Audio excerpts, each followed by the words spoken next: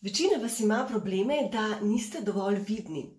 In večkrat me v DMI-jih vprašate, kaj še lahko naredim, da sem bolj vidna na social medijih. En ful preprost trik. To je preprost, pa ne vem, zakaj ga ne delate. Um, ko boste ljudem lajkali druge profile, dejte to delati, ne? s tem boste bolj vidni. Ampak tisti lajki se kar dosti hitro skupijo. Dejte komentirati. Res, dajte komentirati svojim sledilcem in drugim ljudem, lepe komentarje jim delite.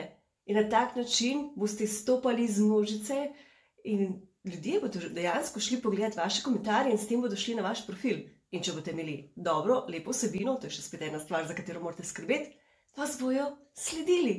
A nič je simpel. Zdaj pa, pljemo roke, pa dajmo komentirati vsebino drugih.